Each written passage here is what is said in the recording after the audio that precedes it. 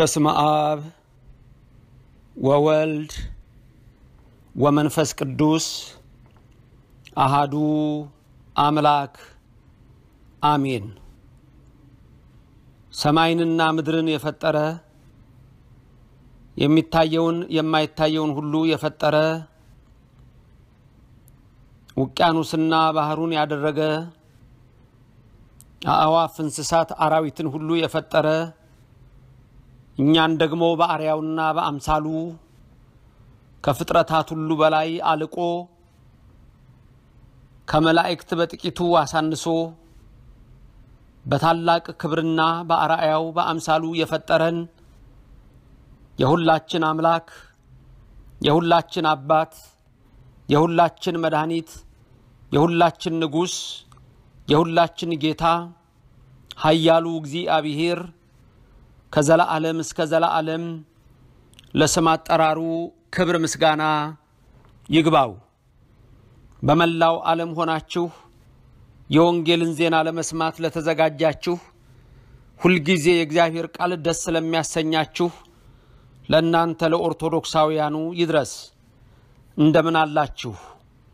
የእግዚአብሔር ሰላም፣ የድንግል ምልጃ፣ የመላእክት ጥበቃ፣ የነቢያት፣ የሐዋርያት፣ የጻድቃን፣ የሰማዕታት፣ የደጋግ አባቶቻችን የደጋግ እናቶቻችን በረከት ለዘላለም በሁላችሁ ላይ ከነ ቤተሰቦቻችሁ አድሮ ይኑር። እኔንም ባሪያውን እናንተንም ቃል እንድንሰማ ለዚህ ሰዓት ያበቃን አምላክ ሁሉ በሱ ነውና ለስም አጠራሩ ክብር ምስጋና ይግባው። ረድኤተ እግዚአብሔርን አጋዥ በማድረግ ዛሬ የምንመለከተው በተከታታይ እንዳየነው በሕዝበ እስራኤል ላይ በሕዝበ እግዚአብሔር ላይ በሕዝበ አይሁድ ላይ የዮናናውያን ንጉሥ የግሪኮች መሪ የአሕዛብ መሪ የነበረው ያ የክፋት ንጉሥ አንጢያኮስ እስራኤልን እያስጨነቀ ሕዝቡን እያስጨነቀ እግዚአብሔር የሚያመልኩትን ሁሉ እያስጨነቀ እኔ ላቆምኩት ምስል ስገዱ፣ ለእኔ ምስል ተንበርከኩ፣ በግ በሚሰዋበት መቅደስ እሪያ ሰዉ፣ የእሪያንም ሥጋ ብሉ ብሎ ሃይማኖታችሁን ካዱ ብሎ ባስጨነቃቸው ሰዓት ክፉ ሰዎች እግዚአብሔርን እናምናለን የሚሉ ተንኮለኞች ሰዎች ከእሱ ጋር አብረው ሆነው ከገዢዎች ጋር በመምከር የእግዚአብሔርን ሕዝብ አስገደሉ። የእግዚአብሔርን ሕዝብ አሳረዱ። የእግዚአብሔርን ሕዝብ አስጨነቁ። መቅደሱንም አቆሸሹት፣ እሪያም ሰዉበት። በዚህ ሰዓት ግን በእምነታቸው የጸኑ እግዚአብሔርን በማመን የጸኑ አንድ አምላክ በማለት የጸኑ ሕጉን አንሽርም በማለት የጸኑ ለተሰዋው እነሆ ለጣዖቱም አንሰግድም መሥዋዕቱንም አንቀምስም ያሉ አንጢያኮስንም አንተ ሰው ነህ ነገ አትኖርም ዘላለማዊ አምላክ እግዚአብሔር እናመልካለን ያሉ እነዛ ብዙ መከራ፣ ብዙ ስቃይ፣ ብዙ ፈተና ደረሰባቸው። ሊቀ ሐዋርያት ቅዱስ ጴጥሮስ በረከቱ በእኔም በእናንተ ላይ ይደርና እንደ እሳት በሚፈትናችሁ መከራ ድንቅ አድጋችሁ አትውሰዱት፣ በእምነታችሁ ጽኑ ብሎ እንደነገረን ያኔም የነበሩት በእምነት ጸንተዋል። ሐዋርያት በእምነት ጸንተዋል። ከሐዋርያት በኋላ የነበሩትም በእምነት ጸንተዋል። ታዲያ እነዛን ሰባት ወንድማማቾች እጃቸውን ቆርጦ ምላሳቸውን ቆርጦ በፍል ውሃ ውስጥ ቀቅሎ የገደላቸው አንጢያኮስ ያችን ምስኪን ሴት ሰባት ልጆቿን በዓይኗ ፊት የገደለ አንጢያኮስ አልዓዛር ካህኑን በስቅላት የገደለ አንጢያኮስ ሁለት ሴቶች ተደብቀው ከነ ሕፃን ልጆቻቸው በጡታቸው ላይ በብረት አንጠልጥለው በገደል የከተቷቸው እንደዛ ያደረገ አንጢያኮስ መጨረሻው ምንድን ነው? ዛሬስ እኛም በሀገራችን በደረሰው እንጠይቃለን። ፍርዱን ከሰው አልንጠብቅም። አላውቅም የናንተን እኔ ከሰው አልጠብቅም፣ ከምድራዊ መሪዎችም አልጠብቅም። ምድራዊ መሪዎች ስለ ራሳቸው፣ ምድራዊ መሪዎች ስለ ሕጉ እግዚአብሔር እንዳይፈርድባቸው ይስሩ። ዳሩ ግን ፍርድ የሚሰጠን እግዚአብሔር ነው። መልስ የሚሰጠን እግዚአብሔር ነው። የእነዚህ የቅዱሳን ደም ይጮኋል። በጅጅጋ የታረዱት ደም ይጮኋል። ያኔ ገና በአርባ ጉጉ በ83 በ84 በአርሲ የታረዱት ደም ይጮኋል። የካህናቱ ደም ይጮኋል። በጅማ የታረዱት የክርስቲያኖች ደም ይጮኋል። የካህናቱ ደም ይጮኋል። በሻሸመኔ ይጮኋል። በዝዋይ ይጮኋል። በአርሲ ነገሌ ይጮኋል። በዴራ ይጮኋል። በአጋረፋ ይጮኋል። በሐረር ይጮኋል። በብዙ ቦታ በግፋት የተገደሉ ሁሉ ዛሬ በሆነው ብቻ ሳይሆን በተለያየ መልክ በግፍ የተገደሉ ነፍሳት ሁሉ ይጮኋል። የክርስቲያኑ ደም ይጮኋል። ሌላውንም ቢሆን ኢትቅትል ጻድቀ ይልቁንም ጻድቁን ሰው አትግደለው። ምክንያቱም በጦርነት ጊዜ ሕጋዊ ሆኖ የሚደረጋለ ምንም ባልሆነ ራሱን በቤቱ አኑሮ ያለ የተገደለበት ሕይወት አሮጊቷ በቤቷ እያለች የተገደለችበት ምንም የማያውቁ ሕፃናት የተገደሉበት ዓይን እስከ ማውጣት የገደሉትን እስከ መጎተት ዛሬ ቅድስት በምንላት በኢትዮጵያ ምድር ተከስቷል። ለእነዚህ ሁሉ መልስ የሚሰጥ እግዚአብሔር ነው። ደግሞም መልስ ስላለው የሚዘገይ ይመስለናል እንጂ አይዘገይም። አንጢያኮስ ምን ሆነ? አሟሟቱ እንዴት ሆነ? መጨረሻው ምን ሆነ? መጽሐፍ ቅዱስ ስለ ብዙ ሰዎች የሚነግረናል። የይሁዳ አሟሟት እኮ አላማረም። የብልጣሶር አሟሟት በትንቢተ ዳንኤል ምዕራፍ አምስት ላይ የምታዩት የመቅደሱን ያቀለለ የመቅደሱን ነዋየ ቅዱሳት ያቀለለ በጽዋው የጠጣ በመቅደሱ ዕቃ በእግዚአብሔር ጽዋ የጠጣ በመቅደሱ ዕቃ በንዋየ ቅዱሳቱ በጻሕሉ የፈተፈተ ያውም ከሚስቶቹና ከቁባቶቹ ከውሽሞቹ ጋር ያ የባቢሎን ንጉሥ ብልጣሶር የዛኑ ቀን ተቀሰፈ። ያውም በአስጨናቂ ሁኔታ አንድ እጅ ወጣች፣ በግድግዳው ላይ ጻፈች። እሱ ነው ያየው። ተጨነቅኩ አለ። የወገቤ ጅማት ተፈታ፣ ሰውነቴ ተብረከረከ፣ ጉልበቴ ተንቀጠቀጠ። እባካችሁ ያ ቃል ምንድን ነው? ተርጉሙልኝ አለ። የከለዳውያን አስማቶች አልፈቱትም። ጠንቋዎቹም አልፈቱትም። ምትሃታቸው አልተረጎመውም፣ እነሱም አልተረጎሙትም። ያ ቃል ህቡ የእግዚአብሔር ነበረ። መንፈስ ቅዱስ ያደረበት ዳንኤል መጥቶ ብልጣሶር ማኔ ቴቄል ፋሬስ ነው መዘነ ቀለ ተገኘ። ስለዚህ መንግስትን ለሌላ ከፍሎ ሰጠው። አንተም የሞት ሰው ነህ አለው። ጉልበቱ እንደተቀጠቀጠ የወገቡ ጅማት እንደተፈታ በዛው ላይ መጥቶ በጦር ተወግቶ የሰላሳ አንድ ዓመቱ ብልጣሶር ሞተ። የኃጥአን ሞት ጸዋግ ነው ይላል ዳዊት። የኃጥአን ሞታቸው ከነምኞታቸው ነው የሚጠፋው ይላል። ሶሎሞንም ይሄን ነው የሚናገረው። ሶሎሞን በምሳሌው በምዕራፍ 11 ቁጥር ሰባት ላይ ስታዩ የእግዚአብሔር ቃል እንዲህ ይላል፣ እናንተ ኦርቶዶክሳውያን አሁንም በእናንተም በእኔም በባሪያው መንፈስ ቅዱስ ይደርብን አምላካችን መንፈስ ቅዱስ ሶሎሞን እንዲህ ይላል፣ ሀጥ በሞተ ጊዜ ተስፋው ይቆረጣል፣ የኃያል አለኝታም ይጠፋል ይላል። ስለዚህ እግዚአብሔር ሲሰራ ነቅሎ ነው የሚሰራው። ስርም አይተውም፣ መሰረትም የለውም። ነቅሎ ይጥላል፣ ይቆረጣል። ተስፋው ሳይቀር ይቆረጣል። ስለዚህ እግዚአብሔር የሚነግረን ይህንን ነው። የኃጥአን ሞት እጅግ የከፋ ነው። ይህንን ሁሉ መከራ ያደረሰ አንጢያኮስ በሀገራችንም ይህንን ሁሉ መከራ ያደረሱ ሰዎች ፍጻሜያቸው ምንድን ነው ብለን እንጠይቃለን። መልሱም ከአምላክ ነው። መልሱም ከእግዚአብሔር ነው። ሰሪውም ራሱ እግዚአብሔር ነው። የሄሮድስን አሟሟት ታውቃላችሁ፣ እንዴት እንደሞተ። የአንጢያኮስን እንመልከት። ዛሬም በዚች ቤተ ክርስቲያን ላይ ለሚነሱ በክርስቲያን ላይ ለሚነሱ በካህናት ላይ ለሚነሱ ሰይፋቸውን ስለው ለመጡ ሁሉ እግዚአብሔር መልስ ያለው አምላክ ነው። ወገኖቼ የእሱ ኃይል ብርቱ ነው። እማያንቀላፋ የማይተኛ አንጢያኮስ ይህን ሁሉ መከራ አድርሶ በትላንት ትምህርታችን እንዳየነው ሰባቱ ወንድማማቾች እናቷቸው ሳትቀር በክፉ አሟሟት እንደሚሞት የነገሩት አንጢያኮስ ጦርነት ከፋርስ ጋር ባደረገ ጊዜ እግዚአብሔር አንጢያኮስን ፍጻሜውን አበቃ። ከፋርስ ጋር ጦርነት ገጠመ። እግዚአብሔርም ለፋርሶች ድልን ሰጣቸው። በዚህ ጦርነት ውስጥ ይሁዳ አንዱ ክፍል ነበር። ስለዚህ አንጢያኮስ በአይሁድ ላይ እንደገና በጦርነቱ ተሸንፎ ሳለ ከስድብ ጋር አስነዋሪ ነገሮችን ተናገረ ይላል።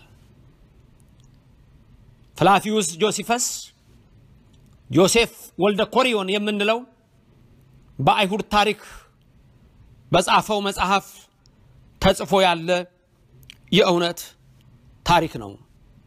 ስለዚህ ክፉ ነገሮችን ተናገረ። ዮሴፍ ወልደ ኮሪዮን እንደ ጻፈው ወጸሪፍ ላዕለ ሃይማኖተ እግዚአብሔር አለ። በእግዚአብሔር ሃይማኖት ላይ ክፉ ነገርን ተናገረ። እግዚአብሔርም በሚያምኑት ላይ ጸሪፍ ክፉ ነገርን ተናገረ። በፋርሶች የተሸነፈው እንደገና አይሁድን ለመግደል እየዛተ ያጠፋቸው ዘንድ ብዙ ሰራዊት ይዞ በፋርሶች የተሸነፈው አንጢያኮስ ወደ እግዚአብሔር ሕዝብ ዘመተ። እግዚአብሔር አምላክም አሁን ዝም አላለም።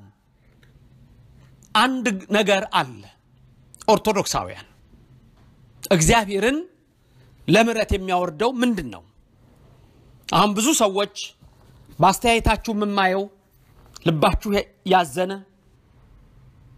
ዓይናችሁ ያነባ፣ ውስጣችሁ የተጨነቀ መቼ ነው እግዚአብሔር እንላለን። መቼ ነው እግዚአብሔር? እግዚአብሔር የሚመጣው እንባችን ከጣራ አልፎ ሰማይ ሲደርስ ነው።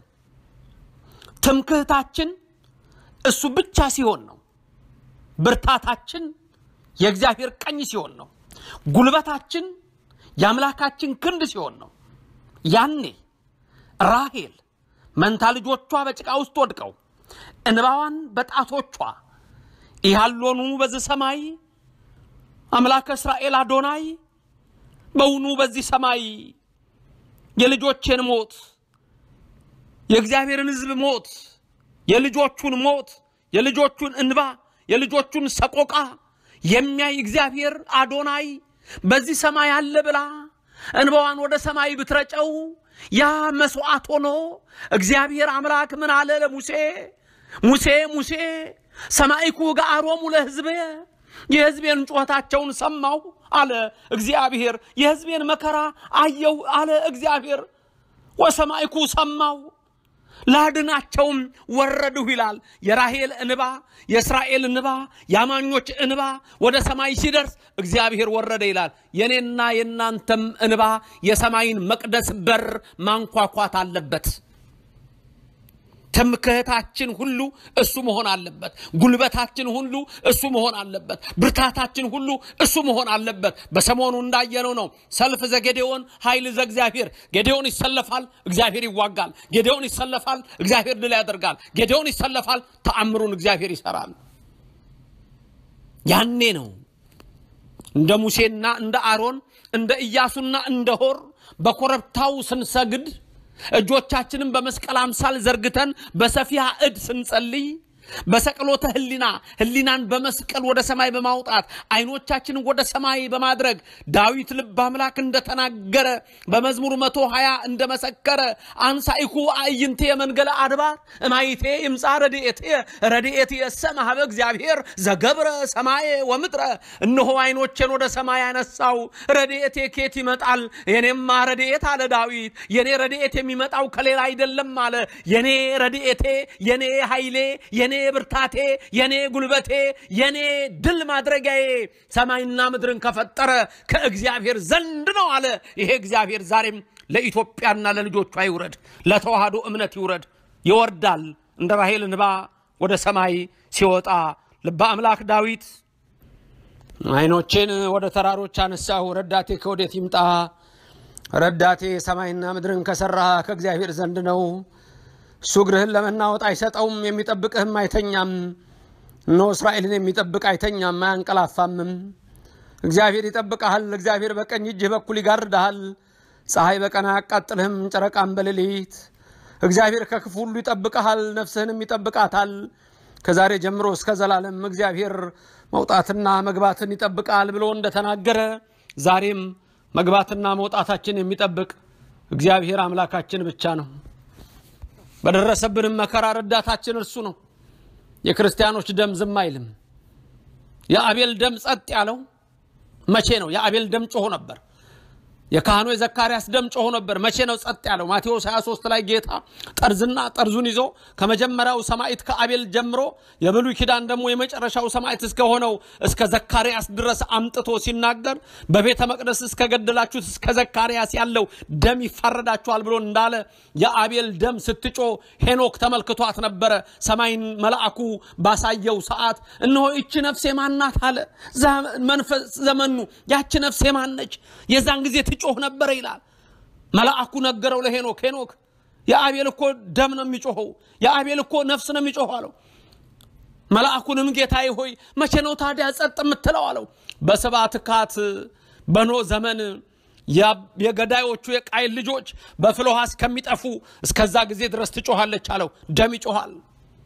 አንጢያኮስ የሰባቱ የገደላቸው እንኳን ሰዎች ደም ይጮኻል። በጣም ብዙ ሺዎችን ነው የገደለው። ዛሬም ደም ይጮኻል። የዘካርያስ ደም ስጮህ እንደዚሁ መልአኩ አይቷታል። የካህኑ የዘካርያስ በመቅደስ የገደሉት የእሱም ደግሞ ደም ስትጮህ ነበር። ያነሳነውም የካህኑ የወዳሄ ልጅም የእሱም ደም ይጮኻል። መቼ ነው ጸጥ የሚለው አለ።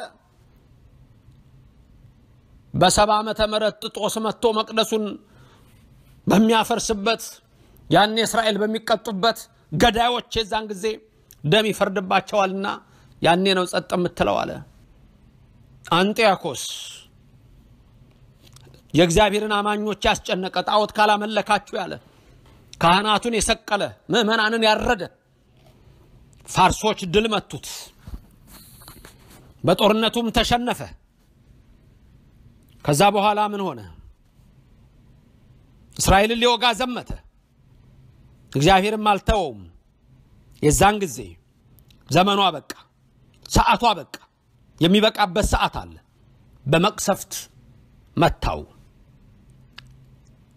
ከግር ጥፍሩ እስከ ራስ ፀጉሩ ድረስ በደዌ ተመታ። አሁንም ግን ልዝመት፣ አይሁድን ልግደል አለ። አሁን እንደገና እግዚአብሔር አባሰበት። ሰውነቱ በጠቅላላ ቆሰለ፣ መሽተት ጀመረ። ሽታው አጠገቡ ያሉ ባለሟሎችን ሁሉ ከረፋቸው ይላል። ወደ አጠገቡ መድረስ አልቻሉም። ሁሉም አፍንጫውን እየሸፈነ ያናግረዋል። ለሱ ለራሱ ሰውነቱ ሸተተው። በቁም እያለ መሞት ጀመረ። ቆሞ ሳለ ተኝቶ ሳለ ከሰውነቱ ትል ይንጠባጠብ ጀመር። እግዚአብሔር ሲመጣ እንዲህ ነው። ሄሮድስ 144 ሺህ ሕፃናትን ገደለ ይላል ቅዱስ ወንጌላዊ ማቴዎስ እንደሚነግረን በምዕራፍ ሁለትም እንደጻፈው እነዛን 144 ሺህ ሕፃናት የሁለት ዓመት ሕፃናት የሶስት ዓመት ሕፃናት ከሁለት ዓመት ያነሱ አንገታቸውን እየቀላ ገደላቸው። ጌታን ለመግደል ብሎ ዛሬም ተዋህዶን ለማጥፋት ብለው ልጆቿን የሚገሉ አሉ። የእግዚአብሔርን ስም ከሰው ልጆች ልቡና ለማውጣት ጣዖታቸውን እያቆሙ ከመቅደስ ያስወጣቸው ከመቅደስ የወሰዳቸው ሴጣን ለነሱም እንዲገብሩ ያደረጋቸው ብዙ ናቸው። የሄሮድስ አሟሟት ተልቶ ከፍቶ ሸቶ ገምቶ ሞተ ይላል። አንዳንድ ጊዜ ለአስከሬን ለቀብር እንኳን የማይገኝበት ጊዜ ይመጣል። አንጢያኮስ ሰውነቱ መስላት ጀመረ። አጠገቡ ያሉ ባለሟሎች ሁሉ ተጨነቁ። ተላ፣ ሸተተ፣ ገማ፣ ከረፋ፣ በቁሙ መገለ። ደም ከሰውነቱ ይፈሳል። ከሰውነቱ ትል ይንጠባጠባል። ማፈረደ፣ ማወጋው፣ ማዘመተበት። እግዚአብሔር ሲመልስ እንደዚህ ነው። ክርስቲያኖች፣ ኦርቶዶክሳውያን በኃይላችን አይደለም፣ በእግዚአብሔር ኃይል ነው። በእንባችን ግን እግዚአብሔር ይወርዳል። እንባ ያወርደዋል፣ ልመና ያወርደዋል፣ ሱባኤ ያወርደዋል፣ ዳሩ በአንድ ልብ ስንሆን በእምነት ስንጸና እግዚአብሔር ድንቅ ነገር ያደርጋል። ገብርኤልን ልኮ እሳቱን ያጠፋል። ሚካኤልን ልኮ ዲያብሎስን ያተናል። እኛ እኮ ካመንን በረከታችን ብዙ ነው። ሪያንጥያኮስን ነገር ልጨርስላችሁ። ምን ሆነ? ሰውነቱ ተልቶ ይንጠባጠባል፣ ደም ይፈሳል፣ ይመግላል፣ ይሸታል። አጠገቡ ያሉ ባለሟሎቹ አጠገቡ መቆም አልቻሉም። ለእሱ ለራሱ አፍንጫውን መወተፍ ጀመረ። የገማ የራሱን አፍንጫ የወትፈው ጀመር። ሆኖም ግን አልሆነም። አሁን መንቀሳቀስ አቃተው። ሊዘምት የነበረው አይሁድን ሊገድል የነበረው እግዚአብሔር በቃ አለው፣ ፈረደበት። አልተመለሰም።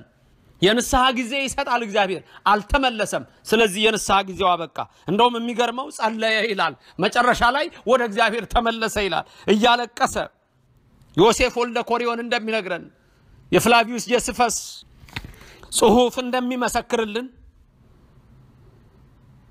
እሱ ግን ስለ ክደቱ፣ ስለ ስህተቱ፣ ስለ ሰራው በደል ፈንታ ቅጣቱ ክቡርና ምስጉን ከሆነ ፈጣሪ እግዚአብሔር የመጣ መሆኑን ባወቀ ጊዜ አሁንስ በቃ አሉ። መኳንንቶቹም ነገሩት፣ አንተ እኮ ራስህን አምላክ አረክ፣ አምላክ የሆነው እግዚአብሔር ተቆጣ፣ የእግዚአብሔርን ሕዝብ አስካድክ። ስለዚህ ይሄ ሁሉ የመጣው መከራ ከሱ ነው አሉት። እሱም ተረዳ፣ አወቀ። ያን ጊዜ ሰውነቱ በሸተተ በገማ በተላ በደማ ሰውነቱ ተንበርክኮ እኔ ጎስቋላ፣ እኔ ጎደሎ፣ እኔ እቡይ ነኝ ማለት ጀመረ። አንዳንድ ጊዜ የንስሐ ዕድሜ አለ፣ የንስሐ ሰዓት አለ። ይሄ ሰው አሁን እንደዚህ ሲጸልይ እግዚአብሔር ይምረዋልን? ጸለየ። ክቡር ምስጉን ፈጣሪ እግዚአብሔርን ለመነ። ልዕልና ያንተ ነው አለ። ችሎታ ያንተ ነው አለ። ስልጣንም ያንተ ነው አለ። አከብረሃለሁ አለ። በታላቅ ስህተት ከብዙ ኃጢአት ውስጥ እንደነበርኩ አሁን ዛሬ ተገነዘብኩ አለ። ሲያዝ፣ ሲደማ፣ ሲመግል፣ ሲሸት፣ ሲከረፋ ሰውነቱ እንደ ትል እየሆነ እየተንጠባጠበ ባለበት በዚህ ሰዓት እስከ ዛሬ ያደረገው ሁለት ሴቶች ልጆቿን ሁለት ሕፃናት ልጆቿን በጡቶቿ በብረት አንጠልጥሎ ገደል የጨመራት ሴት ነፍስ የሕፃናቱ ነፍስ የአልዓዛር የካህኑ የቅዱሱ ነፍስ ያረዳቸው የካህናት ቁጥር የምእመናን ቁጥር ሰባት ወንድማማቾች ምላሳቸውን ቆርጦ እጆቻቸውን ቆርጦ እንደገና በብረት ድስት በፍልዋ ውስጥ ቀቅሎ አሁን የታወቁ ስለሆኑ ነው። ይህን ሁሉ መከራ ያደረሰ አሁን ስተቴን ተረዳሁ አለ። ሲመግል፣ ሲከረፋ፣ ሲሸት፣ ሰውነቱ ሲቆራረጥ አሁን አወቅኩት አለ። ይቅር በለኝ አንተ ሁሉን የምታደርግ ነህ። የምታደህይ በላጸጋ የምታደርግ የምታዋርድ የምታከብር ትዕቢተኛውን ዝቅ የምታደርግ ኃይለኛውን የምትቀጠቅጥ ከሁሉ በላይ ስልጣን ያለህ እውነተኛ አምላክ እግዚአብሔር አንተ ነህ አለ። ለመጣብኝ ለዚህ መከራ ሁሉ እግዚአብሔር ሆይ ይቅርታህን ስጠኝ እያለ ማልቀስ ጀመረ። አምናለሁ እንደውም ጌታ ሆይ አድነኝና የካድኩህን ክደት እንደገና አንተ አምላክ እንደሆንክ ልመስክር። ከገጠመኝ እንቅፋት አውጣኝ። ጸሎቴን ተቀብለ እኔን ለማዳን ተነሳ። አንተ ወደምትጠላው ነገር ሁለተኛ አልመለስም። ስለዚህ በሕይወቴ ሙሉ ቃል እገባለሁ። ዳግመኛ በፊት እንደበደልኳቸው ሳይሆን አሁን መልካም ነገር ለአይሁድ አደርጋለሁ። የቤተ መቅደሱን ግምጃ ቤት በወርቅና በብር ሞላለሁ። ወለሉና ሐሩን እንሆ ግብረ መርፌ ምንጣፍ አነጥፍበታለሁ። መቅደሱንም መልካም አረገዋለሁ። ያንተን ገንዘብ አልፈልግም አለው እግዚአብሔር። ገንዘብ እኮ አይደለም ልብ ነው። ምን እንደምታመጡልኝ እኮ ነው ያለው እግዚአብሔር። እንዴ እምቦሳው እኮ የኔ ነው አለ። ገንዘቡ እኮ የኔ ነው። ጧፉ የኔ ነው። ሻማው የኔ ነው። መጋረጃው የኔ ነው። ሁሉ እኮ የኔ ነው። እኔ ከሰጠዋችሁ እኮ ነው የምትሰጡኝ፣ ገንዘብ አይደለም። አሁንም አንጢያኮስ ገንዘብ ነው የሚያስበው። የገደላቸውን ካህናት ያረዳቸው ካህናት ነፍስ ዝም አይልም። አሁን እግዚአብሔር ይቅር ይለዋል ወይ? አሁን እግዚአብሔር በምሕረት ያየዋል ወይ?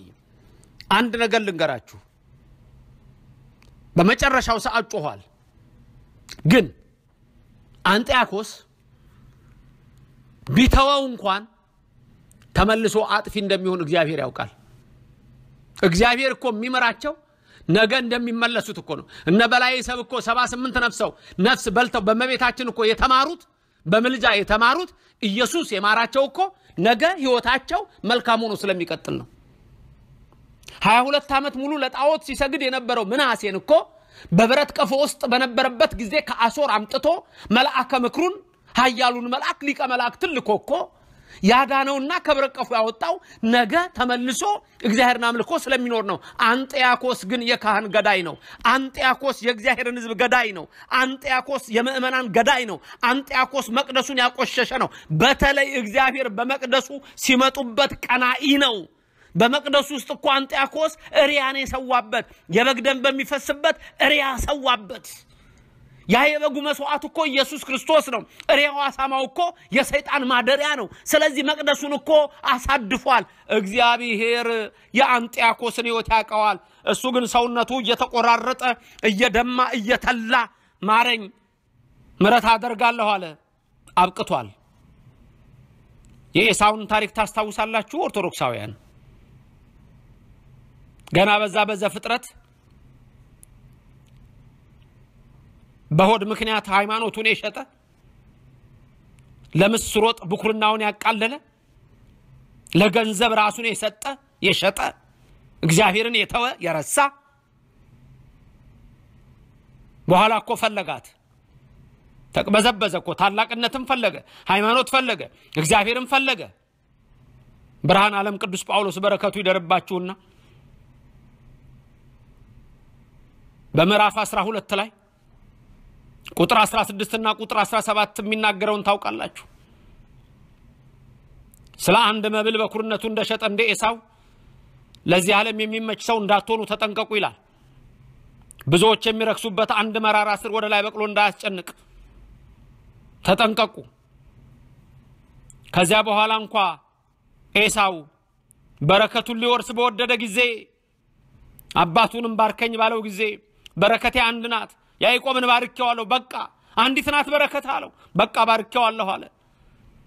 በረከቱን ሊወርስ በወደደ ጊዜ እንደተጣለ ታውቃላችሁና በእንባ ተክቶ ምንም ቢፈልገው ለንስሐ ስፍራ አላገኘምና በእንባ ተግቶ ምንም ቢፈልገው ለንስሐ ስፍራ አላገኘምና ኤሳው እግዚአብሔር በሱ አልተጠራም። አንጥያኮስ ለንስሐ ስፍራ አላገኘም። ወገኖቼ እግዚአብሔር መሐሪ ነው። አዎ፣ ግን ደግሞ ፈራጅ ነው። ስለዚህ አንጥያኮስ ጸሎቱ ከአፍ ወጥታ አፍንጫው አልደረሰችም። የኃጢአተኞችን ጸሎት ይጸየፋል እግዚአብሔር። የደም አፍሳሾችን ጸሎት ይጸየፋል እግዚአብሔር። ልቡ ክፉ ነው። እግዚአብሔርን እንዲክዱ ያደረገ ከሃዲ ነው። ካህናትን ምዕመናንን የገደለ ከሃዲ ነው። ዛሬስ በኢትዮጵያ ፍርዱን የሚሰጥ ማን ነው? እንደው ዝም ብሎ ደም ፈሶ የሚቀር ይመስላችኋል? የክርስቲያኖች አህዱ አብ ቅዱስ ብሎ የቀደሰው የቄሱ ደም እንዲሁ ይቀራል? በእጁ መስቀል ይዞ ሲያሳልም የነበረው እንዲሁ ይቀራል? ሰአሊ ለነ ቅድስት እያላት ዕለት ዕለት ድንግል ማርያምን ሲጠራ የነበረው ያ ካህን እንዲሁ ይቀራል ደሙ? ቅዱሱን መስዋዕት በእጁ እየዳሰሰ ሀበነ ሲል የነበረው ያ ካህን ደሙ እንዲሁ ይቀራል? የአቤል ደም ቀርቷል። የዘካርያስ ደም ቀርቷል። እነዛሴ የዋህ ምዕመናን እግዚአብሔርን በየዋህነት ያመኑ በመቅደሱ የሚሰበሰቡ አንድ ቀን ስለ መግደል የማያስቡ መግደል ኃጢአት እንደሆነ የሚሰበካቸው የሚሰሙ በክፋት በሰው ላይ ያልተነሱ በእነሱ ላይ ግን በክፋት ተነስተው ሲያርዷቸው እንደው ያቺ ደም ዝም ብላ ትቆማለች? እግዚአብሔር ዝም ይላል አይልም። መቼ ዝም እንዳለ ዝም ይላል። ዘኢይነውም አይተኛም፣ ዘኢያረምም ዝምም አይልም። ኃያል እኮ ነው። ወአምላክነ ነው እኮ ያለው ልበ አምላክ ዳዊት በመዝሙር 49 ላይ ስታዩት አምላክ አማልክት እግዚአብሔር ነበበ ወፀዋ ለምድር እኮ ነው ያለው። ጠራት ምድርን፣ ጠራ ገዳዮችን፣ ጠራ ደም አፍሳሾችን፣ ጠራ ሰብስቦ አለ። መላእክቱን ሁሉ ጠርቶ ቅዱሳኑን ለክብር ሲሰበስብ ኃጥአንን ግን ለመከራ ጠራቸው። ወአምላክነ እያረምም አደለ ያለው። ታዲያ ዝም አይልም። እሳት አለ። አንጥያኮስ አይማርም። ፍርድ ሰጪው ፍርድ ይሰጣል። አንጥያኮስ ግን እግዚአብሔር አንተ አምላክ እንደሆነ አወቀው። ገዥነትህን ወደ ማመን ወደ አንድነትህ እንዲመጡ ብታድነኝ አስተማሪ ሆናለሁ አለው። የእሱ ማስተማር ይቅር፣ ልባቸው የዋህ የሆኑ ሰዎች ናቸው ሁልጊዜ የሚጠሩት። ልብ ነው ዋናው። ጭራሽ የባሰ እግዚአብሔር ደዌውን ጨመረበት። የሰውነቱ አንጀት በአፉ ተጎልጉሎ ወጣ። ጋሻ ጃግሬዎቹ እያዩ ይሄን ጸሎት ግን በእነሱ ፊት ተናገረ። እግዚአብሔር እንደቀጣው አመነ። እግዚአብሔርን አምናለሁ አለ። ግን የሰራው ስራ ለንስሐ ስፍራ አልሰጠውም። የውስጡ ሰውነት ቀለጠ። ሰውነቱ እዛው እየቀለጠ አንጀቱ ከሆዱ ወጥቶ ተጎልጉሎ ሰውነቱ በጠቅላላ ተልቶ እዛው ቦታ ላይ ፈሰሰ። መንገድ ላይ ቀበሩት። ከዛ በኋላ ልጁ አፍዶር ነገሰ። አንጥያኮስ ሁለተኛ ብለው ስሙን ጠሩት ይላል። ያልታደለ የደም አፍሳሽ ልጅ። ወገኖቼ ኦርቶዶክሳውያን ይድረስ ለኦርቶዶክሳውያን በሚለው በዚህ ትምህርት ውስጥ በተከታታይ ያየነው እኛ ምን አይነት ሰዎች መሆን እንዳለብን፣ እኛ በምን አይነት መንገድ መጓዝ እንዳለብን፣ የእግዚአብሔርን ቃል ጠብቀን መሄድ እንዳለብን፣ እግዚአብሔር ደግሞ መልስ የሚሰጥ አምላክ መሆኑን እንድንረዳው የሚያሳይ ትምህርት ነው። በክፋትና በኃጢአት በሚሄዱ ሰዎች ጎዳና እንዳንሄድ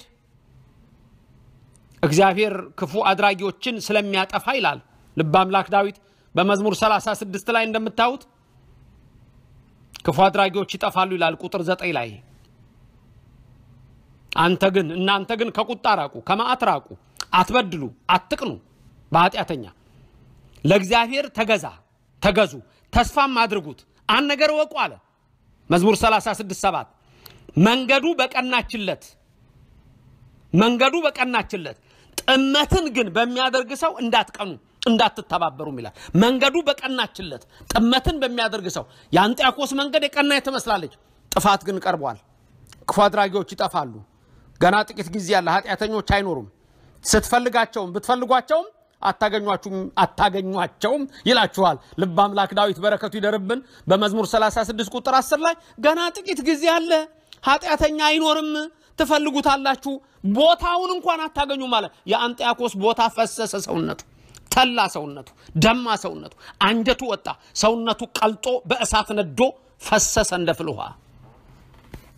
ታዲያ ይሄ እግዚአብሔር አይደለም እንደ እኔ እናንተ አምላክ?